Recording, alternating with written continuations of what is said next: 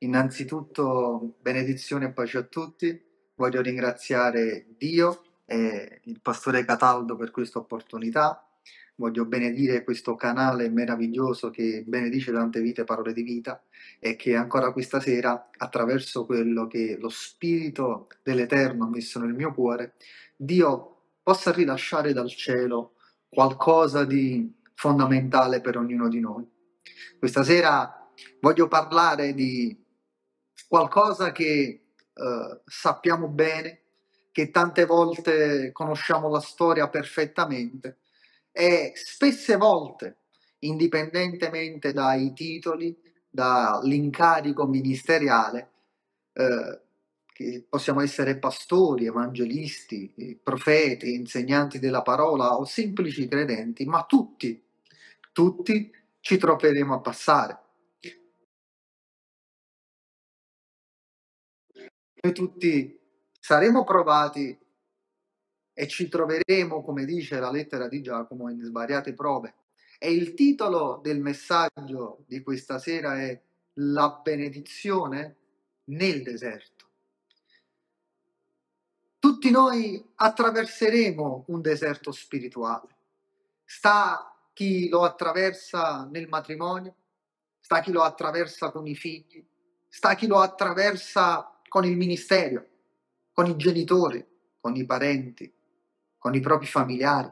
Ci sono deserti economici e tante volte ci chiediamo dov'è Dio? Perché mi trovo in questa condizione? Perché mi trovo in questa circostanza?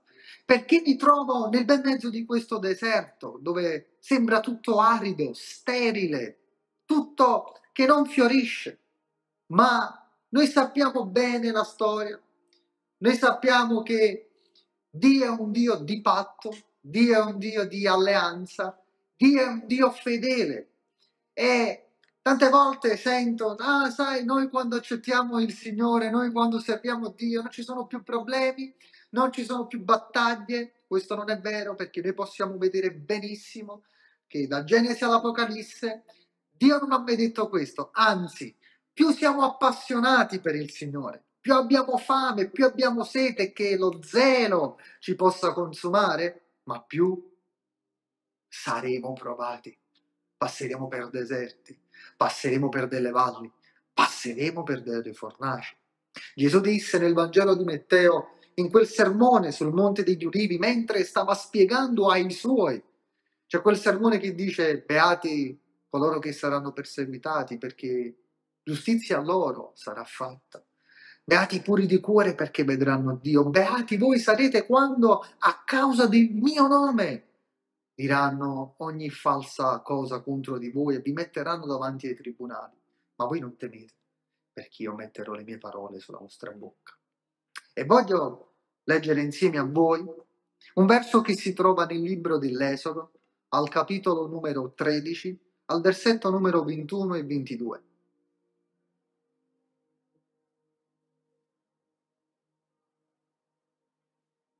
E dice così la scrittura. Il Signore andava davanti a loro di giorno in una colonna di nuvola per guidarli lungo il cammino, di notte in una colonna di fuoco per illuminarli, perché potessero camminare giorno e notte. Egli non allontanava la colonna di nuvola durante il giorno, né la colonna di fuoco durante la notte, dal cospetto del popolo. Fin qui questo primo punto che lo Spirito di Dio ha messo nel mio cuore. Sappiamo la storia, sappiamo che Mosè sarà chiamato da parte di Dio, da quel roveto ardente, e dopo 430 anni di schiavitù, Dio disse a Mosè, ho udito il grido del mio popolo lì in Egitto e eleva, innalza Mosè come liberatore di quel popolo. Sappiamo che il cuore di Faraone era indurito, sappiamo le dieci piaghe, ma arriva il momento della liberazione. E partirono da Ramses, che era il faraone per Sukkot, circa, la Bibbia dice, 600.000 uomini, senza contare donne e bambini, con una grande quantità di bestiame, con oro e argento. E iniziarono a vagare nel deserto. E c'è questa scena. Mosè, mentre loro camminavano, loro iniziano a mormorare. Mosè, tu ci hai portato a morire nel deserto. More, Mosè, tu ci hai portato ad essere qui. Era meglio per noi morire in Egitto, perire lì. E ad un certo punto Dio provvedeva manna tutti i giorni. E c'è questa scena soprannaturale straordinaria. Una roccia che camminava e accompagnava il popolo. E qui entriamo nel messaggio. Noi ci troveremo in dei deserti, noi ci troveremo in delle prove, noi ci troveremo a passarli per la nostra vita affinché la nostra vita possa essere formata. E ci tengo a dire una cosa, ci sono due tipi di deserto. Ci sono i deserti che Dio prepara per noi. La Bibbia dice che Gesù fu condotto dallo Spirito nel deserto.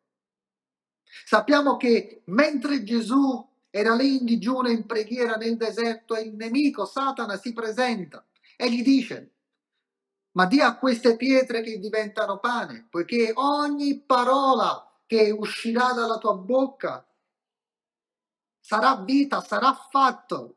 Ma Gesù risponderà, e altresì scritto, non di solo pane vivrà l'uomo, ma di ogni parola che uscirà dalla bocca di Dio. Noi lo leggiamo nel Vangelo di Matteo, ma in realtà Gesù lo stava rilasciando, lo stava dicendo dal Deuteronomio, perché Gesù aveva fatto il bar mitzvah, che era lo studio lì in Israele, perché Gesù cresceva nel Tempio. Più avanti dirà, ma gettati giù, sempre che Gesù lì si trovava nel deserto, poiché Dio ordinerà a degli angeli che tu non toccherai nemmeno con un dito il suolo della terra. Ma Gesù ancora risponde con la parola, e altresì scritto, Satana, non tentare il Signore Dio tuo. E poi lo porta davanti a quella terra e gli dirà io ti darò tutto questo e la propria ricchezza di questa gloria se tu prostrandoti mi adorerai. E allora il Signore disse vattene Satana, perché sta scritto adora il Signore Dio tuo e solo a Lui devi rendere il culto. E la Bibbia dice che degli angeli arrivarono e iniziarono a provvedere cibo e acqua per Gesù. Gesù entrò e fu condotto dallo Spirito, ma il deserto che Dio prepara per noi, non solo lo Spirito ci guida e ci conduce nel deserto, ma noi ne usciamo con la potenza di Dio, perché la Bibbia dice quella roccia, quando la parola è con noi nel deserto, che Gesù è la roccia dei secoli, quando la parola è con noi, quando è il fondamento perenne che non viene a meno, la Bibbia dice nel libro dei Salmi che la sua parola è una lampada al nostro piede, è una luce sul nostro sentiero. Qualche altra traduzione dice una luce nella via che ci è posta davanti. Quando la roccia è con noi nel deserto, la Bibbia dice che scaturiva dell'acqua.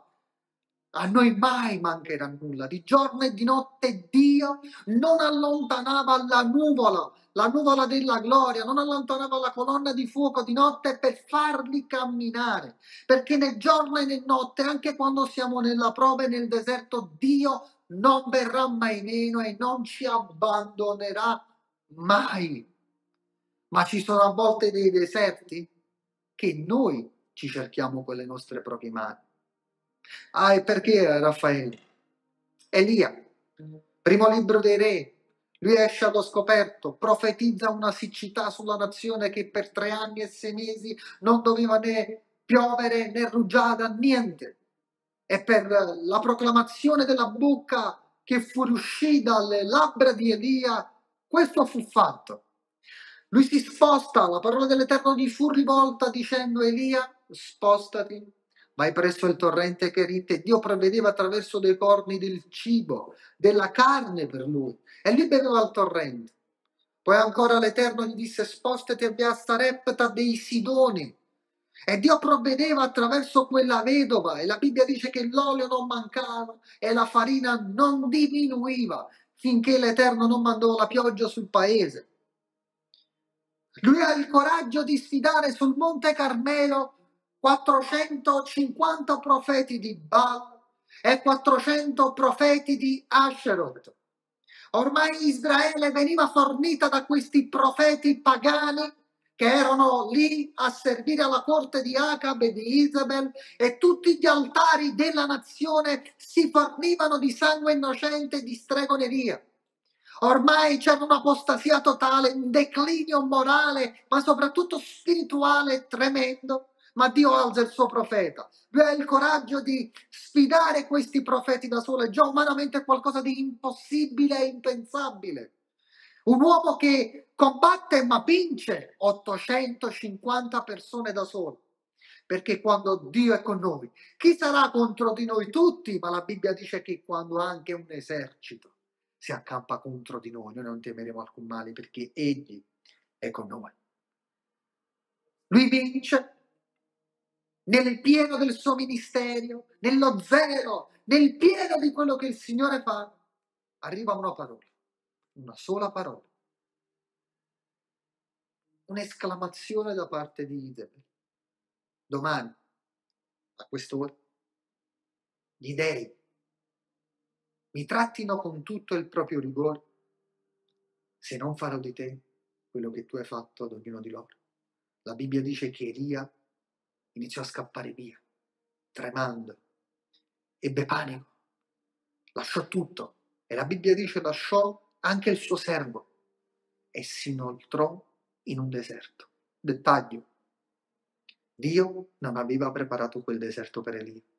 Dio non aveva condotto con il suo spirito Elia per entrare in quel deserto. Ci sono deserti che noi entriamo per le nostre paure, per le nostre convinzioni, per il nostro modo di fare, per il nostro modo di pensare, per il nostro modo di agire, ma che Dio non ha preparato per noi. Ma quando noi siamo guidati e dobbiamo entrare e dobbiamo camminare nel deserto, né di giorno né di notte, mai mancherà nulla nella nostra vita. E probabilmente qualcuno si trova proprio in questa condizione, si trova in un deserto ministeriale, si trova nel deserto con la Chiesa, si trova nel deserto con il suo matrimonio, con i propri figli, con il proprio lavoro, con la propria economia. Io voglio dirti questo. Ai figli di Israele per 40 anni la Bibbia dice che le vesti non si consumavano e i sandali ai piedi non si logoravano. Ah, pastore, ma c'erano i bambini e i vestiti crescevano insieme ai bambini e le scarpe crescevano insieme ai bambini. Dio non ha fatto mai, mai mancare niente ad Israele. Il deserto è un buon luogo per noi. Se lo guardiamo sotto l'aspetto profetico e spirituale. Perché? Perché quando Dio ci guida nel deserto, noi comprendiamo tante cose, meditiamo la sua parola, camminiamo come vuole che Lui ha stabilito che dobbiamo camminare, comprendiamo della sua provvidenza, gustiamo della sua onnipotenza, ma gustiamo soprattutto della fede che Egli ha donato per noi, perché la fede è un dono di Dio, dice la scrittura. E quando noi realizziamo che non abbiamo niente, non abbiamo posizione a mano, non abbiamo risorse, non abbiamo le nostre forze, ma ci arrendiamo a Lui e le posizioni che Dio ci ha dato anche nel ministero. Questa è una rivelazione che il Signore mi ha dato. Dio ci ha dato ministeri e posizioni per una funzione affinché quello che Dio ci ha donato non possa innalzare noi, ma possa innalzare Lui. Perché quello che Dio fa Tante volte noi cerchiamo di usarlo per innalzare noi. Dio si usa di noi per innalzare Lui. E nel mezzo del deserto, io immagino Mosè con 600.000 persone, a volte ascoltare 2, 3, 10 persone che si lamentano, ognuno dice la propria, è difficile. 600.000 persone che iniziano a mormorare. E Mosè in un certo punto si trova davanti al mare si trova il popolo che mormorava, nonostante Dio aveva benedetto ogni cosa, aveva provveduto, aveva fatto gustare qualsiasi cosa. Dietro arriva il faraone con gli egiziani, con carri e cavalieri. Panico totale. Quante volte nel deserto vogliamo gettare la spugna, non c'è proprio più via d'uscita. E Mosè iniziò a gridare a Dio perché nel deserto cosa possiamo fare? Possiamo solo gridare a Dio. Sì, possiamo solo gridare a Lui.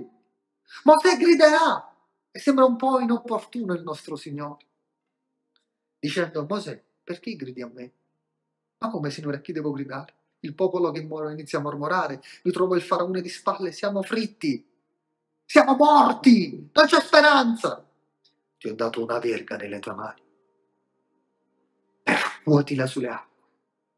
E questa sera io voglio profetizzare questo nel nome di Gesù. A qualcuno il Signore ha dato questa verga ed è un ministero apostolico, ed è un ministero profetico, è un ministero evangelistico, è un ministero pastorale, è un ministero di insegnamento, è un ministero di intercessione. Dio ti ha dato un dono, come dice Paolo nella lettera ai Corinzi, a chi ha dato doni di governo, di profezia, di discernimento degli spiriti. Sei un fratello, una sorella che ama, che ama il Signore, qualsiasi cosa.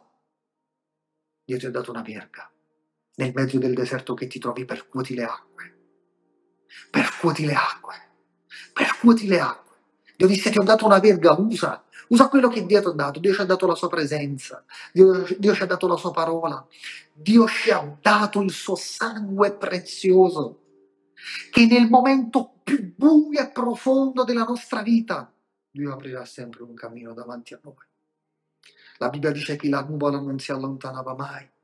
Dio riverserà sempre gloria, benedizione, restauro, con la sua presenza abbondante per coloro che sperano in Lui, per coloro che vogliono dimorare in Lui. E la Bibbia dice che Gesù disse nel Vangelo di Giovanni, chi dimora in me, io dimorerò in Lui. Nel mondo avete tribolazione, ma fatevi animo, fatevi animo, perché io ho vinto il mondo. E che cosa dice la lettera ai Romani? Noi siamo più che vincitori. Anche nel deserto, il popolo quando iniziò a passare a terra asciutta,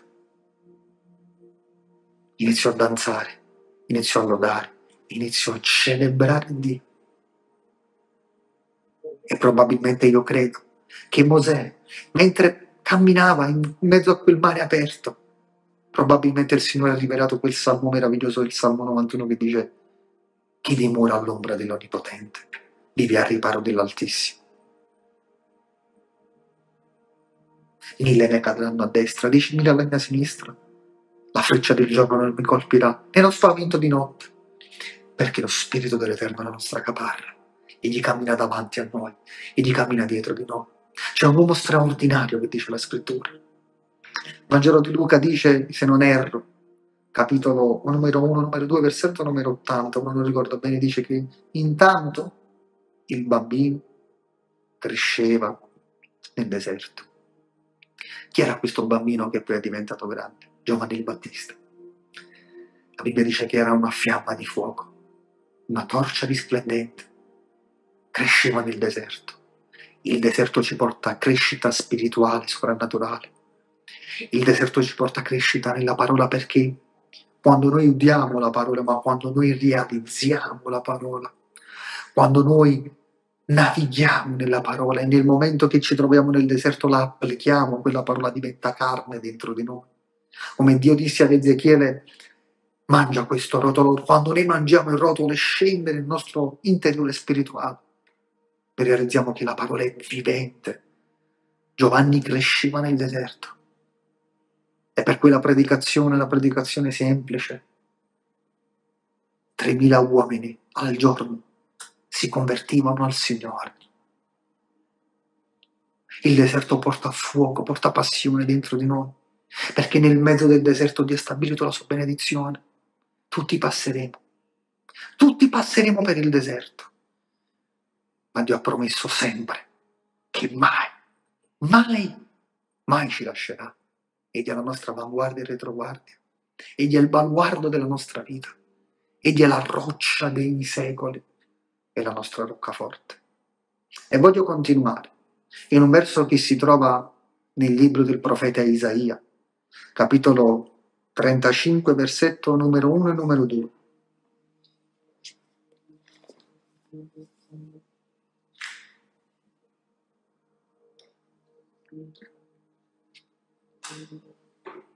E dice così la scrittura. Il deserto e la terra arida si rallegreranno, la solitudine gioirà e fiorirà come la rosa si coprirà di fiori, festeggerà con gioia e con canti d'esultanza. Le sarà data la gloria del Libano, la magnificenza del Carmelo e di Sharon, essi vedranno la gloria del Signore, la magnificenza del nostro Dio. Io amo la parola di Dio e sono molto affascinato perché dico, come può il deserto e la terra arida gioire, rallegrarsi? Sono un luogo, non una persona. Perché il deserto si rallegrerà e la terra arida gioirà? Perché la Bibbia dice che quando noi siamo obbedienti al Signore, ogni luogo che la pianta del nostro piede calpesterà, Dio ce la darà come eredità, anche nel mezzo del deserto, quando noi siamo benedetti e obbedienti all'Onnipotente, tutto quello che è intorno a noi è benedetto, è prospero. E ogni cosa è traboccante, anche il deserto si rallegrerà e anche la terra arida gioirà. E poi dice, essi lo vedranno, chi lo vedrà? Coloro che sono davanti a noi, intorno a noi, dietro di noi e nonostante noi siamo provati, siamo perseguitati, siamo incompresi, siamo ingiuriati, ma vedono che nonostante tutto questo siamo fedeli al Signore. Siamo obbedienti al Signore. Io amo un salmo di Davide che dice che quelli che confidano nel Signore nel loro volto non c'è delusione. Come non ci può essere delusione quando improvvisamente qualcuno che c'è più caro ci tradisce? Quando probabilmente un pastore viene meno nella nostra vita? Quando probabilmente il lavoro viene meno? I nostri genitori, perché la Bibbia dice anche se tua madre e tuo padre ti abbandonassero, può succedere, ma io non ti abbandonerò mai. Come può nel volto di uno non, non avere delusione se la vita probabilmente è stata dura o hai avuto una grande battaglia, una grande prova nella sua vita. Perché la gioia del Signore nel deserto egli è la fonte della vita. Nel deserto, nell'oppressione, nella depressione, egli è la cura perfetta. Per quelli che hanno il cuore rotto, egli metterà delle bende, dice uno dei salmi. Per quelli che sono afflitti, egli il consolo attraverso il consolatore per eccellenza che è lo Spirito Santo e la terra arida si rallegrerà, perché quando noi cammineremo la benedizione ci perseguiterà, la benedizione sarà davanti a noi, dietro di noi, intorno a noi e anche nel deserto la benedizione che Dio ha stabilito porterà frutto e frutto abbondante. Frutto e frutto abbondante. Voglio continuare con un verso sempre che si trova nel libro del profeta Isaia, capitolo 43, versetto numero 19.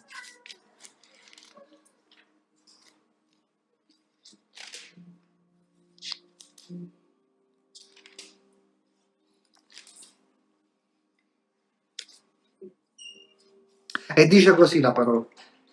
Ecco, io sto per fare una cosa nuova. Essa sta per germogliare voi non la riconoscerete? Il Signore fa una domanda. Sì, io aprirò una strada nel deserto, farò scorrere dei fiumi nella steppa. Io sto per fare una cosa nuova. Tu che ti trovi nel deserto, guarda la benedizione del Signore. O probabilmente te che ci troviamo nel deserto. Davide disse io alzo gli occhi ai monti. Da dove mi verrà l'aiuto? Questo capitolo come inizia? Quando attraverserai le grandi acque, esse non ti sommergeranno. Quando passerai per il fuoco, la fiamma non ti consumerà. Ecco, io sto per fare una cosa nuova. Voi non la riconoscerete. Sì, io farò scorrere fiumi di acqua viva nella steppa. Sapete che dentro di noi c'è un fiume? Il salmista lo dice. Io sono il fiume del deserto. Io faccio scorrere fiumi di acqua viva. Gesù disse, chi ha sete, venga e beva, perché dal mio seno sgorgeranno fiumi di acqua viva. Ezechiele nel capitolo 47, se non erro, disse che in una visione da parte del Signore Dio gli disse, figlio d'uomo, ora guarda. E lui vedeva che dal trono, dal Tempio Santo di Dio, fiorisciva un fiume e questo fiume, qualsiasi cosa toccava, qualsiasi cosa veniva sommerso da questa acqua prendeva vita. Quel fiume è dentro di noi perché la parola è in noi. Ecco perché Dio farà scorrere fiumi di acqua viva nel deserto. Ecco perché Dio ha posto la benedizione nel deserto. Ecco perché Dio ha detto che la terra arida si rallegrerà. Ecco perché Dio sta facendo qualcosa di nuovo e io lo voglio profetizzare. Dio sta facendo qualcosa di nuovo nella tua casa, nel tuo ministero, nella chiesa che Dio ti ha posto come operai, come fratello, come credente. Dio sta facendo qualcosa di nuovo in questo paese, in questa città, in questa nazione. Essi lo riconosceranno, chi? Le persone, quelli che non hanno creduto nella nostra vita, quelli che non hanno creduto al tuo ministero, quelli che non hanno creduto alla tua chiamata, quelli che non hanno creduto nei tuoi valori, nei tuoi principi, ma Dio ha stabilito, come dice la scrittura, il suo decreto, la sua sentenza, la sua parola, la sua proclamazione. Perché noi passeremo, passeremo chi in un modo e chi nell'altro. Io amo libro del profeta Daniele, capitolo numero 4, dice che, o capitolo numero 3 se non erro, che Sadrach, Mesach e Abednego erano lì a Babilonia. E guardate quando noi abbiamo un'identità spirituale insieme a Daniele. Babilonia era la nazione più potente del mondo, si mangiava cibo gourmet, si stava bene. Loro vengono deportati come schiavi, ma loro decidono nel proprio cuore di non contattarsi. In altre parole, loro non si sono sottomessi a Babilonia, Babilonia si è sottomessa a loro. Perché? Perché noi siamo ambasciatori di Cristo in ogni luogo dove andiamo, noi apparteniamo ad un regno. E quel regno è un regno irremovibile, è un regno stabile per sempre. E qualsiasi cosa, Gesù disse, ogni autorità mi è stata data nelle mani. Tutto è sottomesso e sottoposto a Lui. Loro decisero di non contaminarsi e sapete quando noi decidiamo questo nel nostro cuore, sempre si alzeranno dico, persone che ci condanneranno, che ci punteranno il dito, che cercheranno la cosiddetta pagliuzza. Allora il re Nabucodonosor no? si inorgoglì, fece questa statua, fece erigere questa statua nella pianura di Dura, lì, una provincia della Babilonia, e chiunque non si prostrava sarebbe stato gettato nella fornace. Dettaglio, la fornace fu elevata sette volte in più. Tutto il popolo si inchina, questa scena, noi abbiamo la mente di Cristo, immaginiamo che il popolo si inchina al suono del corpo, ma questi tre giovani rimangono piedi perché non vi inchinate pure voi, o re, vivi per sempre?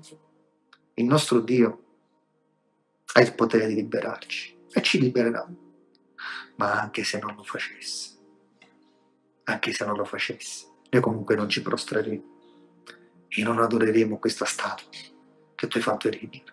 Furono gettati nella fornace, il tempo passato, probabilmente un'ora, due ore, non lo so ma una cosa è certa, gli disse, ma chiamandola Rahab, perché andò a vedere. Non erano tre uomini che abbiamo gettato nella fornace? Certo, mio re. C'è un altro nel mezzo del fuoco, che è il simile al figlio di Dio, che cammina con i tre giovani che abbiamo gettato. Nel mezzo del fuoco ci sarà il quarto uomo nel mezzo del fuoco ci sarà quello che ci prenderà per mano e ci farà danzare nel mezzo del fuoco.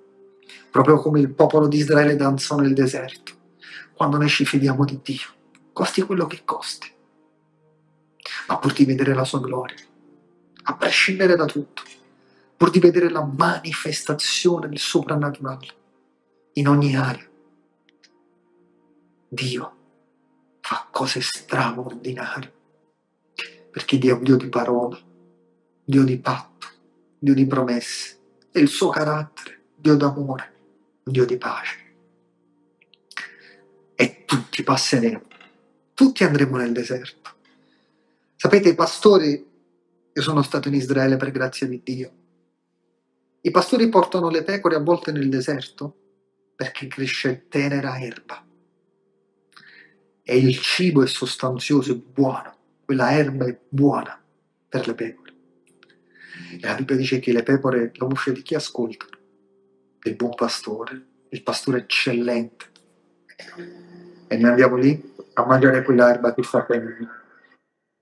Ecco perché Dio tante volte ci conduce nel deserto, affinché quello che Egli ha stabilito sia manifesto a tutti.